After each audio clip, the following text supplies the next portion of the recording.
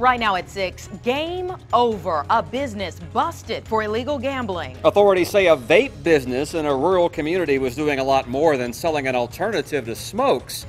Thanks for being with us tonight. This major bust for Isle of Wight went down about three hours ago. Uh, but the investigation has been going on for months. Authorities raided Wicked Vapes on Carrollton Boulevard. The business has been there for a year and has been under suspicion that gambling has been going on for a while. 10 on your side's Jason Marks broke this story on Twitter and has more on this developing story.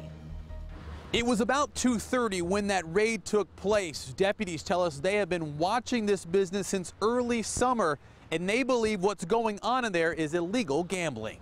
Gambling is illegal. In Isle of Wight, deputies say that's exactly what's been happening inside this business for months. Since this business opened up, it opened up for the sole purpose of running the, the gambling operation in the back of the store.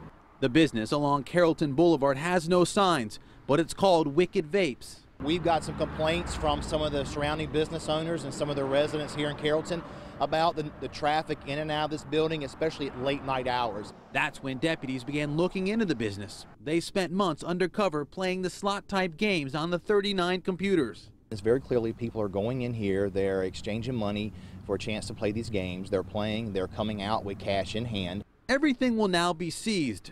Deputies also raided the business owner's home on Nelson, Maine, just down the road. We're told she took out the business license for the vape shop about a year ago. People come here not to buy the vapes, they're coming here to um, participate in this gambling and these, these gaming operations. So far, no one has been charged. Deputies tell us the next thing they're doing is seeing if this business owner has similar businesses here in Hampton Roads. That's the latest here in Isle of Wight County. Jason Marks, 10 on your side.